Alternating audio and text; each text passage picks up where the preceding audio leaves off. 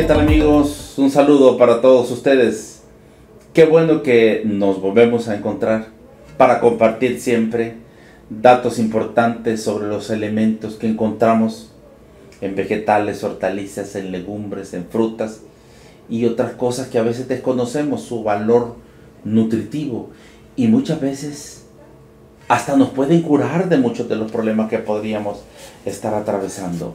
Como cuando he dicho, mientras más agua con electrolitos tome, menores riesgos de dolores de cabeza va a tener. Interesante. Así que de algo similar vamos a hablar y es respecto a los componentes importantes que contiene la Fernaldia pandurata.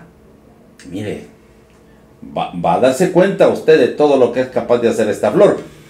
Pero antes, suscríbase a nuestro canal de YouTube como Link Publicidad CNC.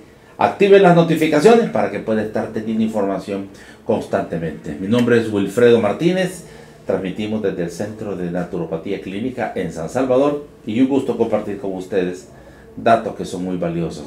Fíjese que la Fernaldia pandurata posee una flor que es comestible, pero tiene un olor que quién se pierde con ese olor. Es un olor aromático delicioso que de cierto tiempo hasta hoy se consume prácticamente en el 100% de todo el país del Salvador y en efecto es originario por supuesto del Salvador, pero también se ha extendido en toda Centroamérica y en parte de México. Sin embargo, hay que aclarar una cosa, que es recomendable solo consumir la florcita, porque la raíz eh, se considera tóxica, así de que hay que tener mucha precaución cuando la utilice. Uno va a la pupusería y dice, quiero una pupusa de frijol con queso, quiero una pupusa de bora con queso, quiero una pupusita de ayote, ah, y quiero una que tenga fernaldia pandurata.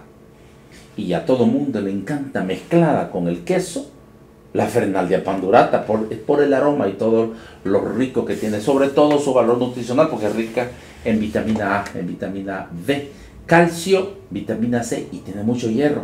Así es que las personas con problemas de anemia, con su hemoglobina baja, deberían de hacer todo lo posible porque no les falte esta flor.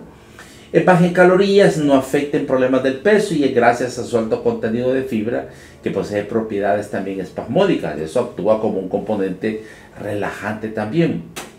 Esta flor ayuda a la formación y el mantenimiento de los dientes, los tejidos blandos, los tejidos óseos, las membranas mucosas y nos permite tener una piel bastante sana. Bueno, ¿y qué hay del sistema nervioso? ¿Sabe usted que esta flor mantiene el sistema nervioso en buenas condiciones, al igual que el sistema cardíaco? Los deportistas, los deportistas deberían de consumir constantemente esta flor ayuda al desempeño deportivo y aparte de otras cosas, también incrementa las enzimas antioxidantes.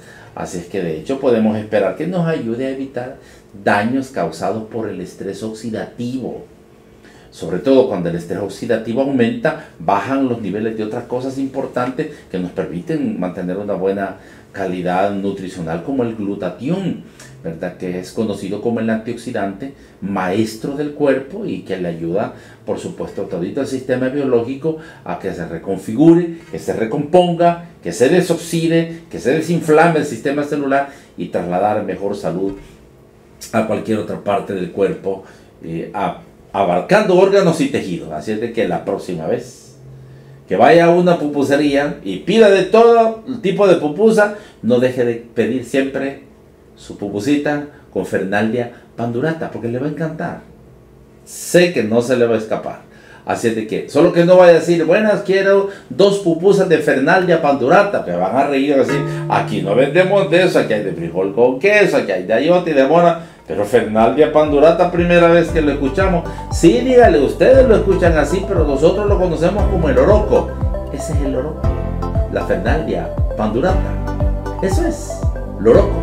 En el súper, en el mercado, no olvide siempre solicitar su manojito, su bolsadita disfruten de su casa con su familia. Cuídense, este fue un espacio para truquitos de salud y por supuesto para su propio acervo cultural.